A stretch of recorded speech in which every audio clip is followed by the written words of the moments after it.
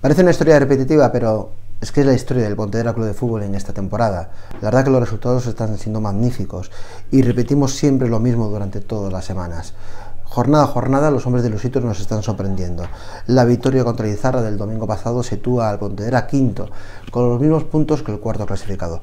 Luisito ha avisado que no, no va a cambiar de discurso. Ha amenazado de que va a estar toda la temporada diciendo lo mismo y en cierto modo el técnico hace perfectamente. El objetivo del Pontevedra tiene que ser el que es, que es luchar por la permanencia. Eso sí, estoy convencido de que el propio equipo, el propio cuerpo técnico, si tiene posibilidades de meterse arriba, se va a meter. Pero seamos prudentes, como diría el Cholo Simeone, partido a partido. Y partido a partido, lección a lección de coraje la que nos está dando la Sociedad Deportiva Teucro. El otro día perdió contra el Naturhaus, pero ojo, es esas derrotas que no duelen, esas derrotas que confirman las sensaciones que está dando un equipo que mañana juega contra el Fútbol Club Barcelona. Esa es otra historia.